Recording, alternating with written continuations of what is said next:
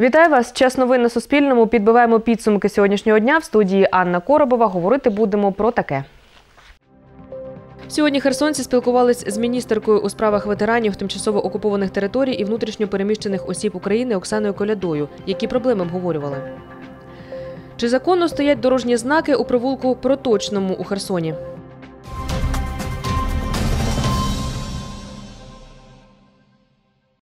Про це та інше докладніше. Посприяти у придбанні власного житла або у приватизації кімнати у гуртожитку, перевести переселенку з Донбасу з контракту на бюджетне місце у Херсонському виші, обладнати приміщення для дитячих візків на першому поверсі та допомогти вирішити низку побутових проблем. Про таке сьогодні просили у міністерки у справах ветеранів тимчасово окупованих територій і внутрішньо переміщених осіб України Оксани Коляди у гуртожитку, що на вулиці Комкова, 75Б у Херсоні. Кореспондент Суспільного Андрій Усов розповість далі. Дівчинка, що, що, що три місяці судиться за 400 гривень, е, ті, які ми отримуємо допомоги. Щомісяця. Вона просто просила передати вам, щоб ви ну, У Галини Жнівіної троє дітей. Говорить, що сюди приїхала з валізою літніх речей на пару місяців. У Херсоні живе шостий рік. Я как мама с ребенком, у нас здесь. Я, як мама з дитиною, у нас тут немає кімнати для дитячих візків. Може, міністерка допоможе нам?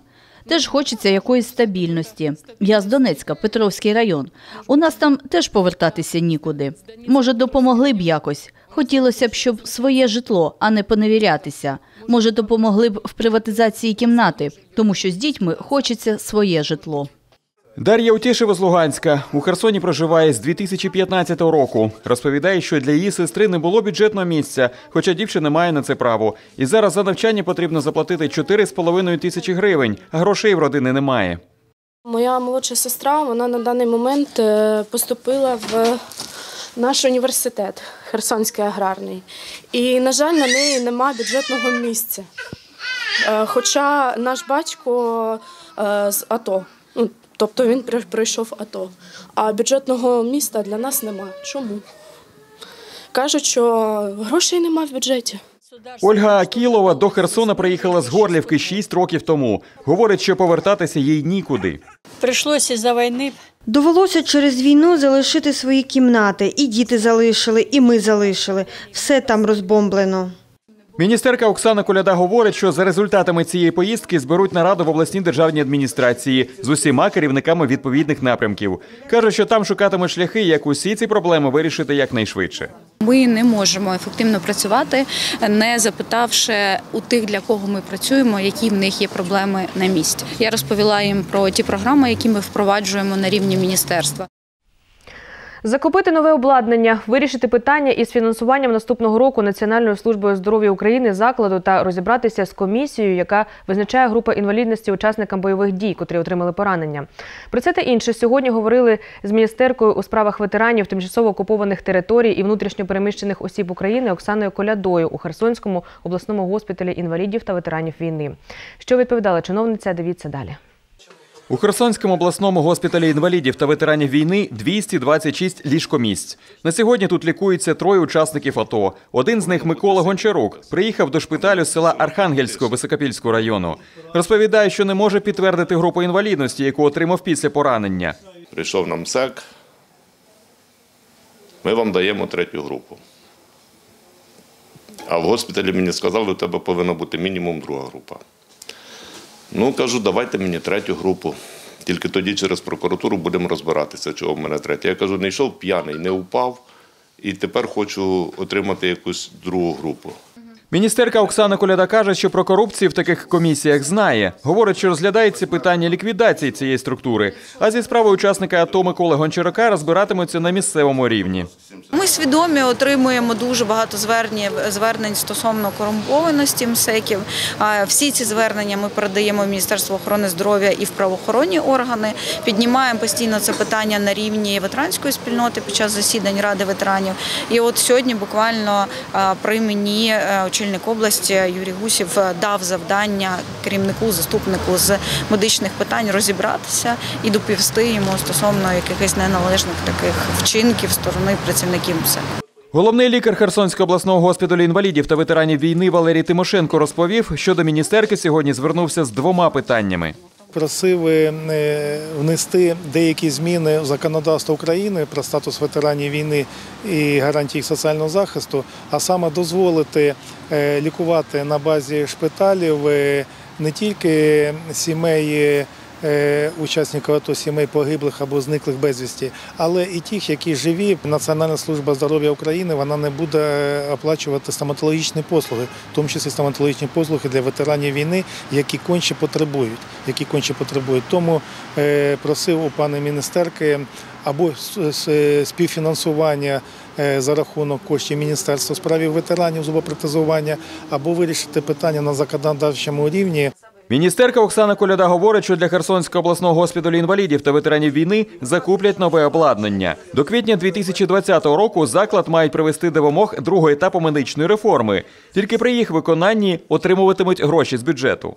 Нами розроблено окремий пакет медичних послуг суто для ветеранів е, з огляду на специфічність отримання цих захворювань в зоні бойових дій. І ми відкриваємо нову бюджетну програму і будемо фінансувати ці послуги.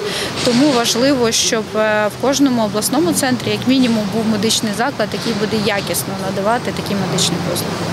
Голова Херсонської облдержадміністрації Юрій Гусів розповів, що об'єкти для відвідання міністеркою обирав сам. Каже, що хотів показати проблеми та знайти їх вирішення спільно з урядовцями. Зараз ми ем, обговорюємо проблеми, які існують, а ввечері ми будемо говорити про можливості.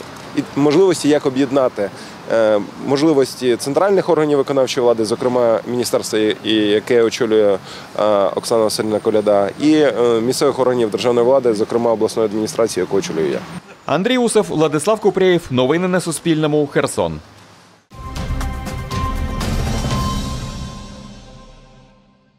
Сьогодні управлінням патрульної поліції південного регіону передали 37 нових автівок та відзначили кращих співробітників. Шкоди для поліцейських презентували на площі Свободи у обласному центрі о півдні. Бачила їх наша Аліна Мокляк. трошки оновили е, автопарк спеціальних транспортних засобів. Вручили сьогодні е, цінний подарунок е, у вигляді годинника, професійного годинника, для того, щоб було комфортніше на службу. Кошти е, з державного бюджету, закупівля автомобілів проводилась згідно процедури, закупівля годинників проводилась згідно процедури. Усі е, документи є в соціальних мережах, і, ви можете спокійно подивитися. Всі ці е, цінні подарунки будуть внесені, всі накази в особову справу співробітників патрульної поліції, і у нас все працюється прозоро. Херсонські патрульні отримали чотири автівки. Ще дві передали до відділу патрульної поліції Автономної Республіки Крим та міста Севастополя, розповів начальник управління патрульної поліції Херсонської області Константин Дронгаль. Херсонська область отримує е, саме управління чотири автомобілі, але ми знаємо, що відділ поліції в Автономній Республіці Крим несе службу в Херсонській області також два автомобілі. Оновлення техніки, оновлення тих засобів, е, за допомогою яких ми здійснюємо патрулювання, воно надважливе, тому що е, якість е, несення служби поліцейського також залежить і від умов його несення служби. Одещина отримала 12 автівок, розповів очільник патрульної поліції області Юрій Рибак. Ці автомобілі будуть розподілені на полк, на батальйони патрульної поліції в Одеській області, і вони будуть постійно цілодобово патрулювати на вулично-шляхових мережах міста та трасах автомобільних дорог державного значення. Нові автомобілі, нові красиві, ви бачите, дуже гарні світлові маячки, гарна обклейка. Тобто вони і обслуговані, і в ремонті дуже надійні і Лейтенантка Лілія Десятник у патрульній поліції від початку її створення з 2016 року. Сьогодні її відзначили як одну з кращих 24 працівників. Прийшла в патрульную полицию совершенно Прийшла до патрульної поліції зовсім з іншої галузі. Я хотіла стати частиною тієї реформи, яка відбулась в країні. За час служби було багато чого. Були розкриття злочинів, погоні, було багато цікавих моментів, які доводилось переживати разом з напарниками. Аліна Макляк, Григорій Шматко. Новини на Суспільному. Херсон.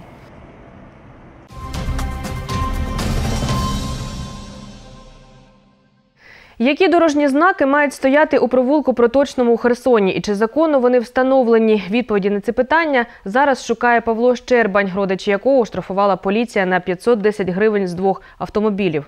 Чоловік вважає, що знак 3.2, який забороняє проїзд автотранспорту провулком до причалу, встановлено незаконно. Наші кореспонденти розбирались в ситуації. Проблема возникла 8 э, октября при э, встрече меня Проблема виникла 8 числа, коли мене зустрічали. Я віз з дачі яблука та груші з закрутки. Ми завантажили машину, їхали провулком проточним. Раптом бачимо, на проїжджій частині стоїть троє жінок і чоловік. Ми спитали, хто вони. Вони сказали, що вони громадські активісти і не пустять машину, поки не приїде поліція. Ми спитали, чи викликали. Вони сказали, що так. Поліція приїхала за півгодини. Куди діватися? Їхати треба. Заплатили штраф. Чому незаконний знак? Ми маємо відповідь на наше звернення до поліції та до міської ради. Написано, що знак затверджено 9 числа, а ми їхали 8. До обговорення приєднався представник перевізників Олег Павленко. 10.10.19 года мы получаем 10 жовтня 2019-го ми отримали від начальниці управління дорожнього транспорту Марини Віркун відповідь щодо встановлення знаків разом зі схемою, затвердженою тільки 9 жовтня 2019 року. Знак 3.2 у провулку з'явився 17 вересня. Отже, до цього моменту, узгодженого з патрульною поліцією, знак стояв незаконно. Віктор Грудко живе у провулку Проточному. Я видел, как-то знак устанавливался. Я бачив, як цей знак встановлювали. Його офіційно встановлювала дорожня служба. Я був присутній, коли жителі проточного зверталися до мерії у присутності начальника ДАІ, заступника Миколаєнка Козакова, дорожньої служби. І нам відповіли, те чи інше рішення буде ухвалено. Десь за два тижні мені задзвонили з дорожньої служби і сказали, що вирішили встановити цей знак. Потім його встановили. Я не раз був учасником перекриття дороги. Під'їхав водій. Я кажу, що є дорога, якою можна об'їхати. А він відповідає: знаю, але нас там не пускають, там шлагбаум. Я сідаю в машину, разом їдемо і пропускають. Там, де шлагбаум, встановлено знак, що забороняє проїзд. Команда была не проезжать. Була команда не проїжджати на територію гідропарку. Була команда пропускати по перепустках. Якщо дуже багато вантажу і сильно просять, ми пропустили. Вони розвантажились і виїхали назад. У нас здесь есть частные предприниматели, которые занимаются бизнесом на территории. У нас є приватні підприємці, у яких бізнес на території гідропарку, тому ми їм даємо перепустки. І ось так вони під'їжджають до своєї власності. Наша переправа ще не діє. Приватні машини туди не їздять. Тому ми туди авто на розвантаження не пропускаємо. Начальниця управління транспорту ситуацію коментує так. За дорученням е, відділом доріг була розроблена відповідна схема організації дорожнього руху. Е, Була вона також е, відкоригована і потім затверджена, е, погоджена з патрульною поліцією за інформацією відділу доріг, яку мені вони надавали, що вони її погодили е, 9 жовтня 2019 року. Коли іменно яку дату був встановлений знак, то мені невідомо знак іменно 3.2. Це згідно правил дорожнього руху, це заборона руху механічних транспортних е, засобів. І тому, але він передбачає також, що е, жителі, які мешкають е, на цьому провулку, вони можуть безперешкодно е, переїжджати до, до своїх житлових будинків. І також можуть на цей знак приїжджати люди з обмеженою можливості першої, другої категорії інваліди, і ті люди, які їх перевозять, також можуть переїжджати безперешкодно. Але це направлено на те, щоб не пошкоджувалося, не руйнувалося е, дорожнє покриття. Пресофіцер патрульної поліції Андрій Кований нам сказав, що штраф можна було оскаржити в суді протягом 10 днів з моменту отримання протоколу. Щодо законності знаку 3.2 потрібно звертатися до суду. Оксана Хлібос, Владислав Купрієв, Олександр Шепель. Новини на Суспільному. Херсон. Нагадаємо, 22 квітня цього року мав бути запущений новий причал для швартування дачних ботів у гідропарку. 16 квітня дачники разом з перевізниками прийшли на мітинг біля міської ради з протестом. Люди вимагали узаконити старий причал. Новий пірс, збудований КП Гарантія, назвали незручним та небезпечним. Під'їзд до старого причалу здійснюється через провулок Проточний. Ініціатором встановлення були жителі Проточного, через який здійснюється рух транспорту до старого пірсу. На сьогодні у мене вся інформація. Завтра зранку у цій студії для вас буде працювати моя колега Оксана Хлєбус. Побачимося.